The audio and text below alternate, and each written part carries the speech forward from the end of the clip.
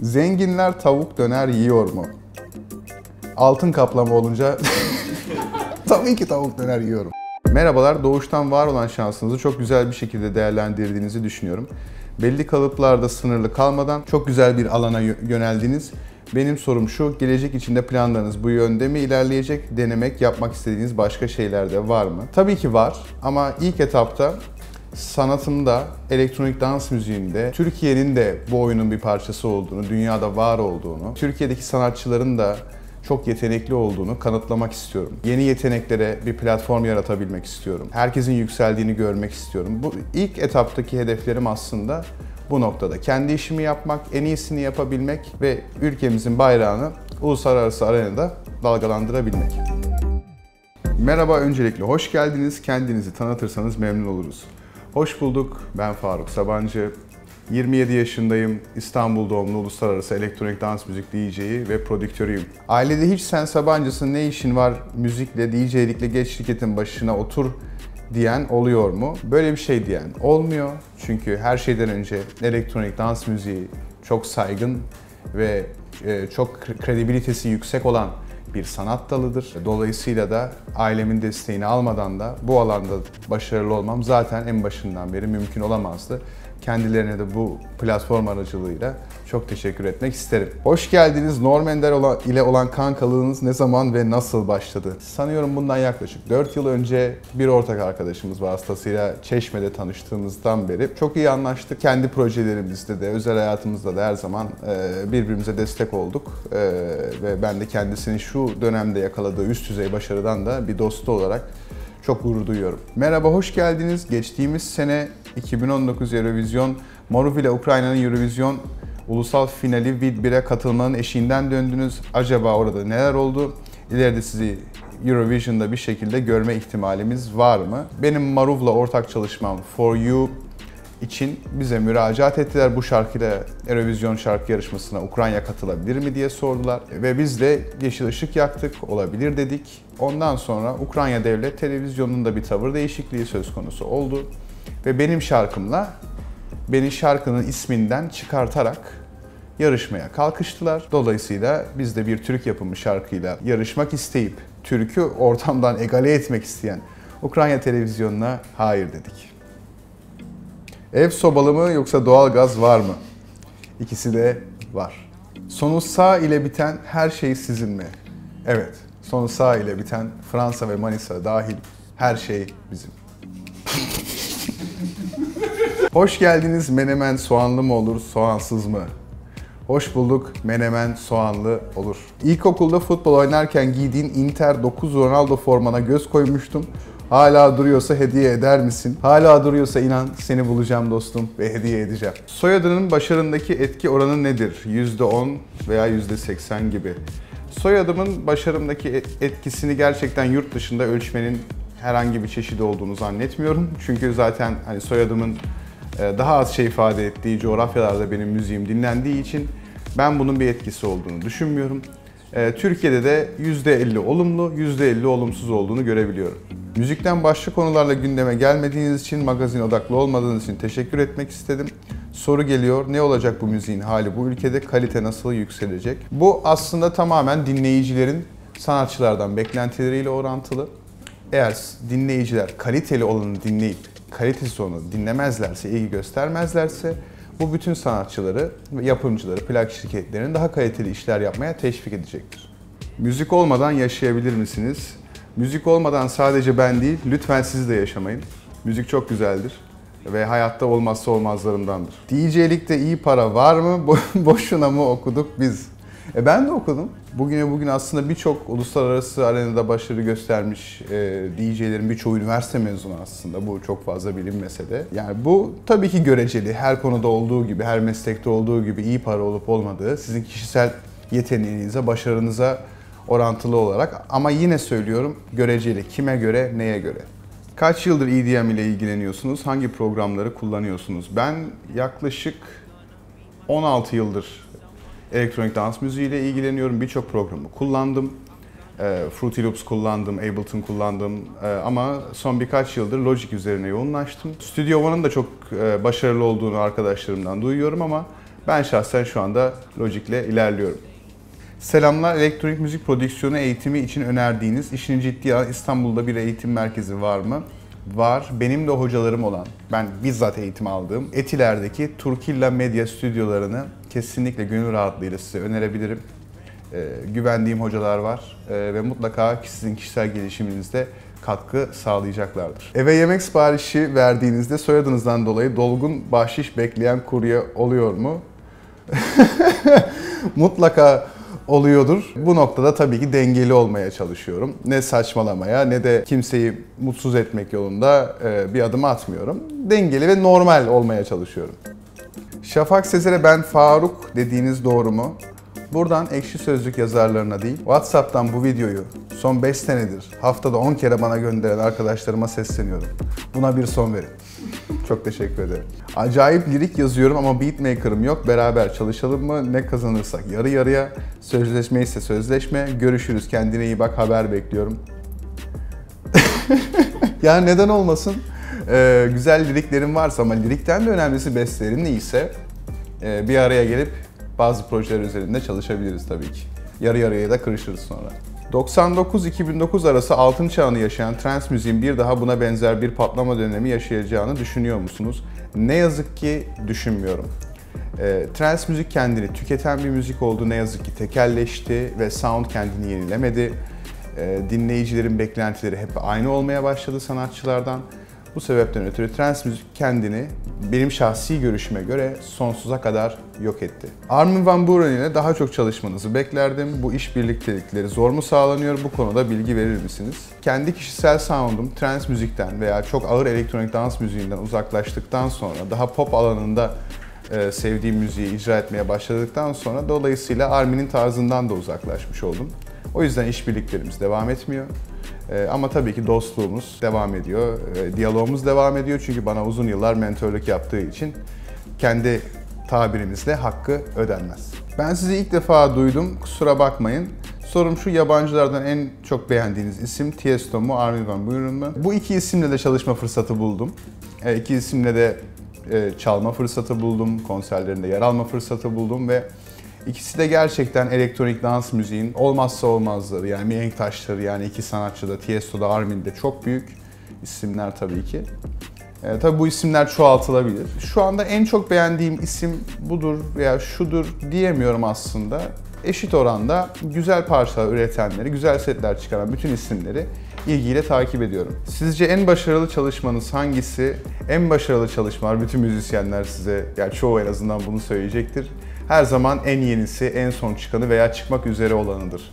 Benim için de aynı şey geçerli.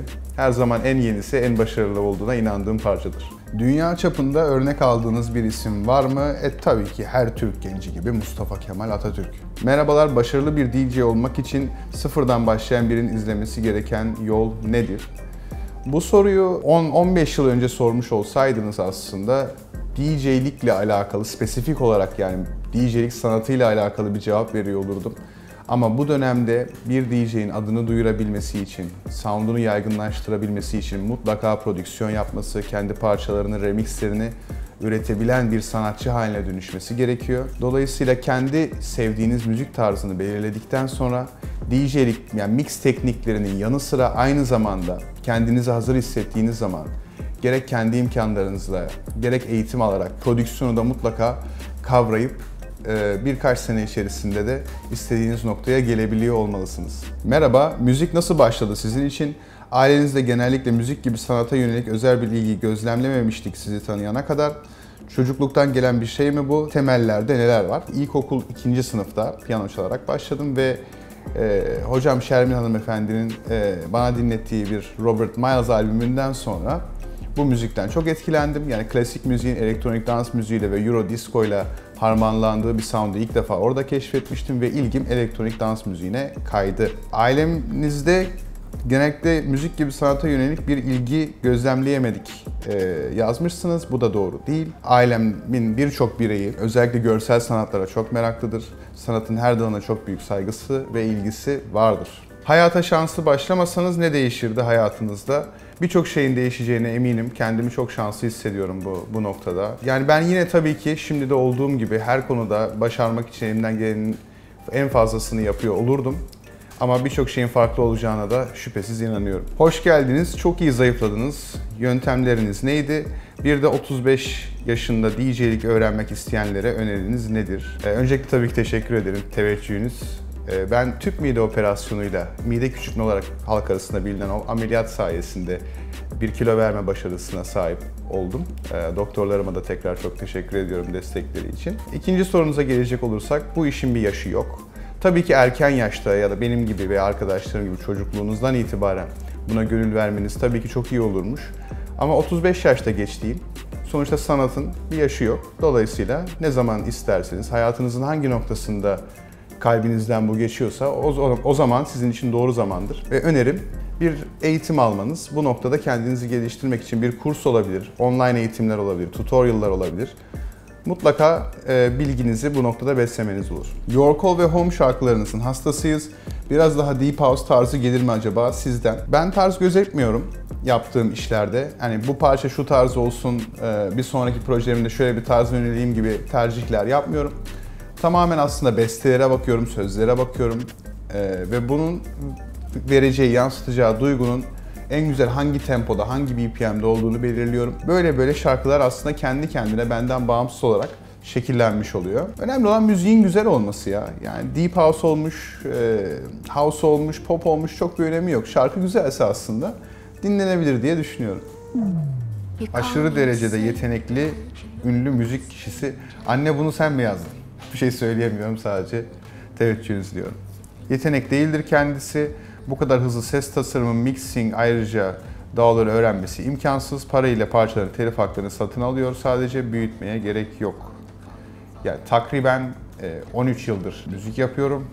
Yani bu hızlıysa e, o zaman ben biraz yavaş kalmışım diyebilirim. Müzik bilgisiyle, vizyonuyla ve maddi gücüyle trans camiasında oldukça iyi bir yer edinen 19 yaşındaki trans DJ bu biraz eskilerden bir arkadaş. Kabul edelim ya da etmeyelim bu alanda Türkiye'yi tanıtmak adına çok çaba sarf eden ve nispeten de başarılı olan bir arkadaş kendisi. Aynı zamanda iyi bir plak şirketi olma yolunda ilerleyen Arisa Audio'nun da ortağıdır. Sadece teşekkür edebiliyorum. Ee, bu eski dinleyicime eskilerden beri elektronik dans müziğe gönül vermiş bu arkadaşımı da selamlıyorum. Elveda isimli parçası Buram Buram Adagio for Strings kokan prodüktör iyi niyetli olup esinlenmiş diyeceğim yoksa bildiğin mixlemiş gibi duruyor. E, bu yorumu daha önce aldım. E, benzerlikler gerçekten var. Ama akor yapısı ve dizilim olarak gerçekten iki parçanın birbiriyle en ufak bir alakası yok. Home parçası gerçekten güzel olmuş. Zamanında epey üstüne gidildi bu çocuğun. Ama durmak yerine sürekli kendini geliştirdi ve sonuç ortada global kalitede bir iş daha. Ya önemli olan zaten uluslararası arenada e, ülkemizi tanıtabilmek, sound'umu tanıtabilmek. E, bu noktada da başarılı olabildiysek kendim ve ekibim adına ne mutlu bize. Yer yarılsa da içine girsem denilen anlar. Üzerinde e, çalıştığım bir parça için bir e, vokalist e, hanımefendi, bir sanatçı e, parçama vokal yaptı ve demosunu bana yolladı. Ben hiç beğenmedim bu demoyu ve menajerime bu berbat olmuş diye maili göndereceğimi maalesef hanımefendiye gönderdim. Çocukluk dönemi sanraları. Benimki çok net. Can Boğaz'dan gelir. En iyi elektronik müzik albümleri. Tek tek albüm ismi vermeyeyim. Sanatçılardan e, gideyim. Özellikle Skrillex'in, Eric Prydze'in, e, Deadmau5'un albümlerini mutlaka dinleyin. Yani içlerinden birini seçmeme gerek yok bu albümlerin hepsi çok iyi. E, aynı zamanda daha eskilere gidersek tabii Kraftwerk'ler var, ilerleyen dönemde Daft Punk'lar var. Yani geçmişinden günümüze kadar çok fazla sayabileceğim elektronik müzik albümü var. Dünyanın en lüks şeyi. Şimdi çok popülist bir cevap verip sağlıklı olmak diyebilirim. Bunu demeyeceğim. Dünyanın en lüks şeyi sanıyorum iş seçebilmek ee, ve e, dolayısıyla da kendinizi memnun eden, sizi mutlu eden işlerde yer alıp e, iş yapmak zorunda olduğunuz için istemediğiniz şeyleri yap- yapmıyor olmak, bu lükse sahip olmak bana göre dünyadaki en lüks şey ekşi itiraf. E, genellikle Ee, bu yorumu dinleyicilerimden çok alıyorum. Sosyal medyamda çok fazla gülmediğimle ilgili çok mesafeli ve e, sabit ve donuk olduğumla ilgili e, görüşleriniz var. Aslında ekşi bir itiraf olarak şunu söyleyeyim. Çok son derece goy goyumdur, makarayımdır ve e, Instagram'daki o çatık kaşlara kanmayın. DJ'likten anlamayan DJ yalanları. Abi bası aç. Bu kesinlikle bunu söyleyen birisi varsa DJ'likle en ufak bir ilişkisi yoktur. Türkiye'deki trance müzik dinleyen kitle e, son derece dedike bir kitledir ve gerçekten gönülden sever, takip eder. E, Ben tabii ki uzun yıllardır trance müzik yapmıyorum. E, Dolayısıyla bugünün kitlesiyle ilgili çok fazla bilgi sahibi değilim ama ben trance müzik yaparken en azından böyleydi. E, sayısal olarak az olan ama bu müziği gerçekten sahiplenen, benimseyen insanlar vardı. Bugün Ekşi Sözlük'te sorularınızı cevapladım. E, özellikle çok memnun oldum çünkü elektronik dans müziğe ilginin Ekşi Sözlük platformunda bu kadar yaygın ve büyük olduğunu bilmiyordum. Her birinize tek tek çok teşekkür ederim. Umarım bir gün konserlerimde de e, yollarımız kesişir. Ayrıca şöyle bir bilgi paylaşmak istiyorum. Artık benim de bir Ekşi Sözlük hesabım var. Beni çok reddetmişlerdi. Sonunda e, çok teşekkür ediyorum Ekşi ekibine. Bana da bir e, kullanıcı adı, adı açtılar. Ne yazık ki Faruk Sabancı olarak açılmış ama Çilekeş 76 ismini e, tekrar buradan rica ediyorum Ekşi Sözlük ekibinden. Sağlıcakla kalın. You call me a saint, but you know I'm a stranger A willing and able to do what you want You think I'm a thinker, but I'm